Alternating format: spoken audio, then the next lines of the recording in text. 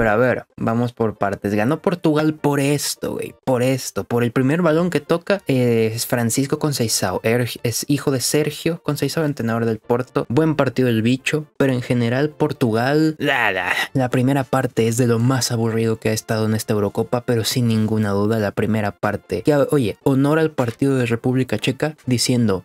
¿Balón? ¿Qué es eso, güey? Ten tú este objeto esférico que no entiendo qué es. Línea de 5, tres volantes, dos puntas. Puntas es un decir porque eran otros centrocampistas. Patrick Schick estuvo más tiempo defendiendo en su área que haciendo cosas en área propia, pero entendieron su rol y dijeron, oye, ¿qué es lo peor que le podemos hacer a Portugal? Quitarle los espacios. Quitándole los espacios, ah, yo creo que Portugal pierde bastante. Y, ¿qué pasó? Que quien tuvo más ocasiones fue Rafael Leao. A ver, Rafita Leao mi niño, mi protegí. He dicho que a Rafael Leao le falta producir más cifras, que tiene desborde, que lo mejor que tiene es desborde, pero que le faltan cifras. Pero hoy ni una cosa ni otra.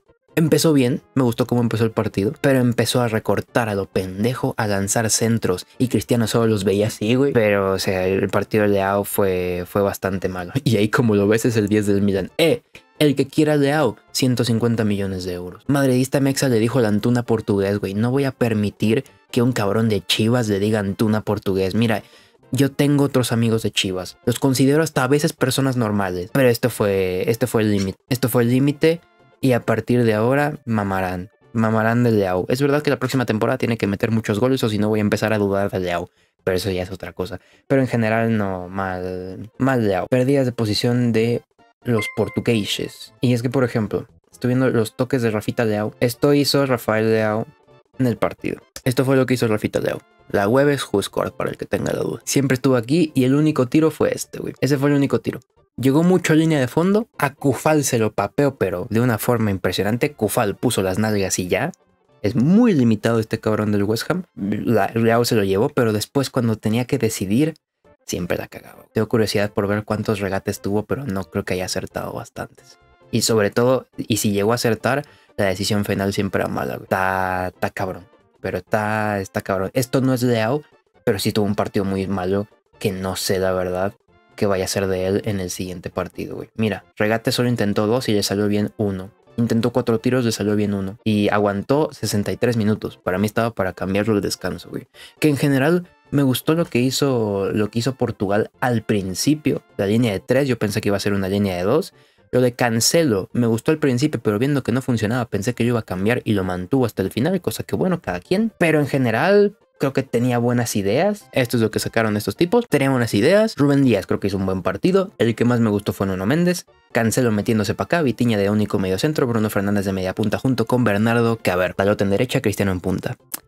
Bernardo, Brunito Fernández. A mí me gustó Bruno. El que no me gustó, el que no me gustó fue Bernardo. Bernardo Silva, Bernardito Silva, ¿eh? Bernardito Silva, plano, plano como pocos. ¿eh? Bernardo, muy poquito. Bruno a mí me gustó. Bruno mete un, un pase perfecto, que es la más que tiene Cristiano. Bruno tiene una muy buena también en el segundo tiempo.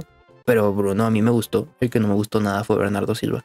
Bernardo Silva, Leao para mí de lo peorcito. Y Cancelo creo que jugó demasiado, güey. Cancelo, ¿cuántos minutos estuvo Cancelo? Bernardo y Leo flojos, estoy de acuerdo. Mabetol, bienvenido. Güey, Cancelo jugó 89 minutos. Para mí empezó bien, pero después ya, ya no se sostenía. Y creo que este equipo te lo puedes permitir con República Checa, que literalmente simplemente te entregó el balón y no te hizo absolutamente nada más. Pero esto contra rivales que vayan más arriba creo que lo vas a tener que cambiar. Yo creo que el que va a entrar tarde o temprano va a ser eh, Paliña para poder destapar a Vitiña y quizás poner a Bruno en banda donde estaba Bernardo. Pero no creo que saque a Bernardo. O quizás sacar a Leao, poner a Bernardo en otra banda. No sé, tiene muchas opciones. Y creo que es lo mejor, lo mejor que le puedes decir a Portugal que tiene 27 mil opciones para jugar a lo que se le dé la gana. El 11 es una locura, güey. O sea, Ve este 11, güey. Ve este 11, pero luego los, los suplentes. Conceizao, que fue el héroe. Pedro Neto, que sin lesiones es Jesucristo. La cabra Nelson Semedo, que bueno. Gonzalo Ignacio Gran Central. Diogo Jota. Y se quedaron el Fénix sin minutos. João Neves, la promesa de estos, que vale como 150 millones, fuera. Paliña, fuera. Gonzalo Ramos, bueno, Mateus Núñez, Danilo Pereira, Antonio Silva, eh, Rubén Neves, o sea, los tipos tienen recursos, tienen un montón de recursos para jugar a lo que se les dé la gana. Y creo que estos con un equipo que sea más abierto, porque República Checa solo quiso defender, yo creo que cuando tengan, exacto, a Banet un poquito más de espacios, creo que Portugal va a mejorar. Por ejemplo, contra Turquía les pueden hacer 80 mil goles estos. Porque Turquía hizo un, hizo un partido espectacular, el mejor de la Eurocopa, pero es una defensa que... Mm, sobre todo los laterales, no, no defienden tan tan bien que llegamos. Son línea de cuatro. República Checa defendió con cinco cabrones. Creo que ahí Portugal puede hacer mejores cosas. Y en general es un partido con muchas opciones. Con muchas ocasiones, mejor dicho, de, Portugal. Portugal también se les encierra. Yo creo que Portugal va a intentar jugar un poco más. República Checa. Porque República Checa sí mete un gol en el mejor momento de Portugal. Que aquí pido perdón. Levanto las manos. Yo puse un tuit. A las te digo ahora mismo la hora. Yo puse un tweet. ¿A qué hora lo puse? A las 2.18 de la tarde. Ya está mucho mejor Portugal. Así sí puede hacer una gran Eurocopa. Porque estaba Portugal en su mejor momento. En la segunda parte. Minuto 5. Del descanso hasta que llega el gol. Es el mejor momento de Portugal en el partido. A las 2.18 meto ese tweet. Bueno. 2.20. Dos minutos después. Gol de República Checa. En el único tiro a puerta que tienen estos tipos. Vamos a ver los tiros de estos dos. Tiros de República Checa. Si no me equivoco, el gol fue este. Sí, este fue el gol. Eh, este fue el gol, güey. De ahí en fuera, mucha suerte al que hizo este tiro. Y ahí en fuera, tres tiros más. Que ni siquiera te han de ver. Mira, por ejemplo, tiros a puerta. Son tiros a puerta. Portugal les apedreó el rancho. Y estos solo hicieron uno, el gol. Y aquí, obviamente, cuentan.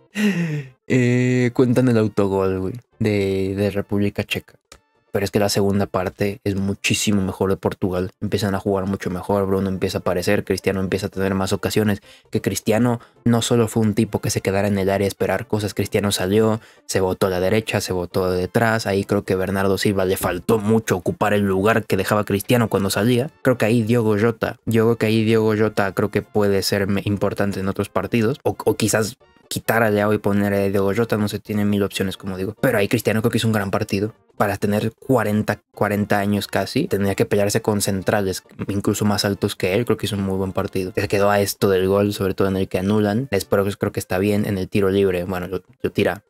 tampoco es nada del otro mundo, pero en general, muy buen partido Cristiano. Me sorprendió, teniendo en cuenta la edad que tiene y dónde está jugando. Te digo, para mí fue de lo peor, incluso peor que Leao, porque Leao lo intentó más. Bernardo, en general, los jugadores del City, no sé, De Bruyne, eh, Rubén Díaz, bueno, ni fu ni fa. Em, Foden, Bernardo Silva, Rodri, bueno, tampoco es que haya estado nada del otro mundo pero en general los del City, madre santa. Y no, no me parece envidia a Cristiano ni nada. Los portugueses todavía van a, van a buscar más a Cristiano. Sí creo que Cristiano se la pasó todo el partido haciendo un buen de desmarques. La mayoría buenos y había pelotas que se las tenían que dar y no se las daban. Y cuando se las daban, se las daban espantosas. Eh, sobre todo un par Bruno Fernández y eso que Bruno le da la mejor pelota que tiene durante el partido. Rubén Díaz jugó un gran partido. ¿En base a qué? ¿Cuánta chamba tuvo Rubén Díaz? Estoy viendo lo que tuvo, 86% de, no, 93% de acierto en pase. República Checa se la pasó encerrada en el partido y no cuatro despejes. Sí, es verdad que en centros pudo haber estado, estado bien, pero es que República Checa se acercó una vez, güey, una vez. Y es el peor contexto para esta Portugal. Con espacios Portugal estuvo mejor. Ahí estuvo mejor Portugal y creo que va a tener mejores partidos. Mm, y no, es que por ejemplo, están metiendo mucho en el mismo saco. O sea, están alabando mucho lo de Alemania y lo de España porque golearon y están menospreciando un chingo a Inglaterra y Francia. Pero Inglaterra y Francia llevan siendo esto un montón de tiempo.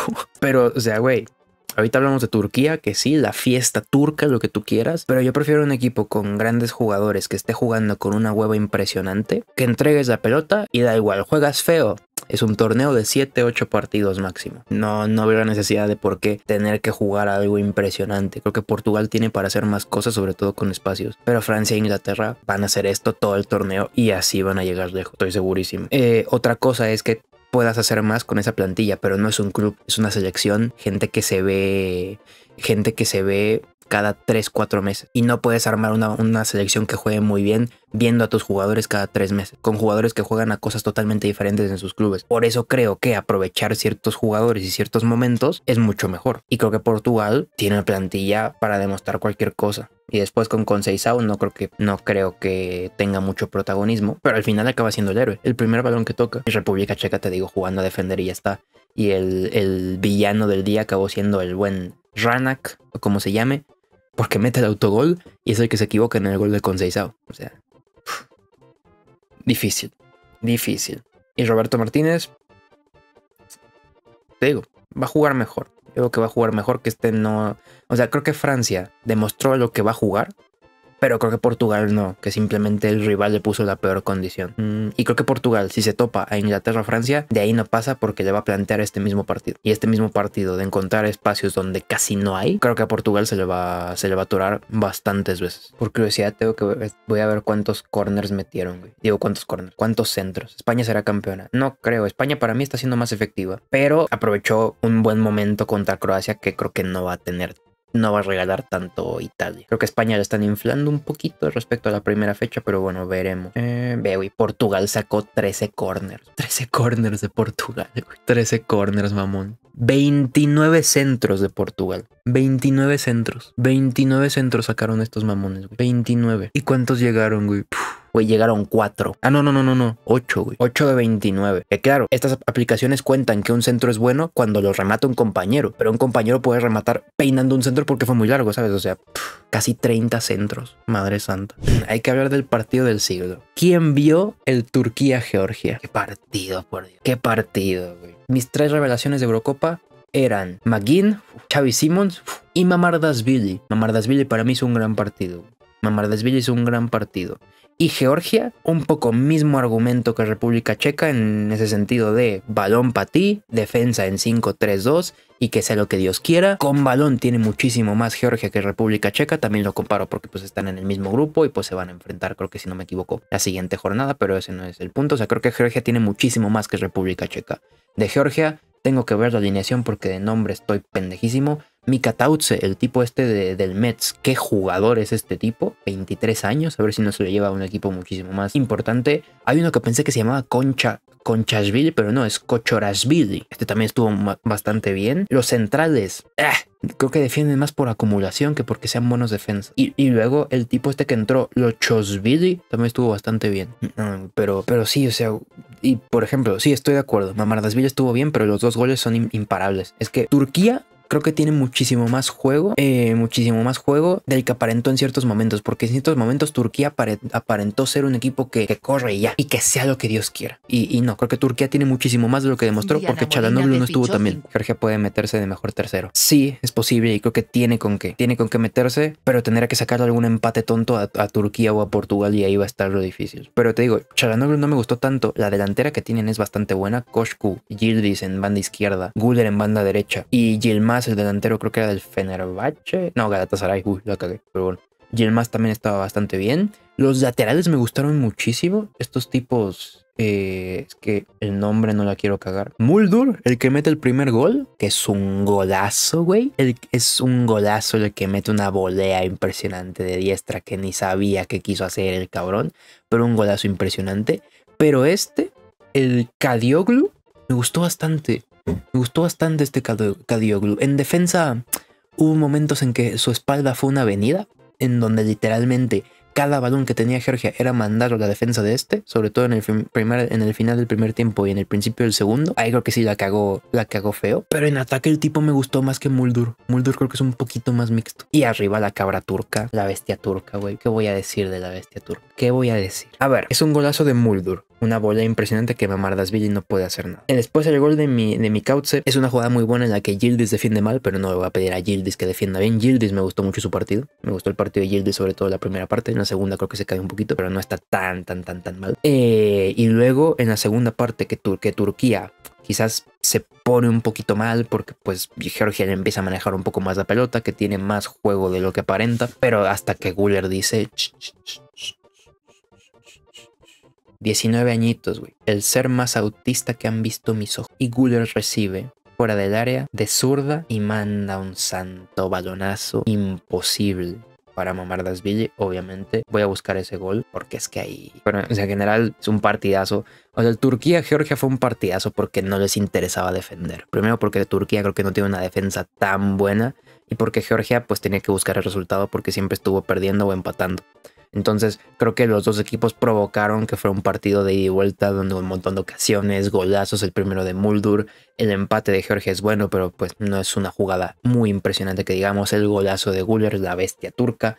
El tercero para mí que también es, es un buen gol ya con el partido totalmente entregado. Para mí Mamardasville hace bien en ir a buscar el gol al final Porque, güey, perder 2-1 o perder 3-1 no hacía tanta diferencia. Puede ser diferencial en la diferencia, en la diferencia, vaya que la redundancia de goles. Pero valía más el riesgo de poder causar el empate a que te marquen el 3 a 1, que al final acabó pasando. Pero Turquía creo que tiene muchas chances de pasar segundo. La siguiente jornada no sé cuál es el próximo partido de estos, de estos tipos. A ver, por curiosidad quiero ver. El próximo partido, Turquía-Portugal, Turquía-Portugal el día 22. Eso es el sábado. El sábado a las 10 de la mañana tengo clases, me voy a matar. Tengo clases, tengo clases. Pero se verá en la tablet. En la tablet se verá. No veo por qué no, pero bueno.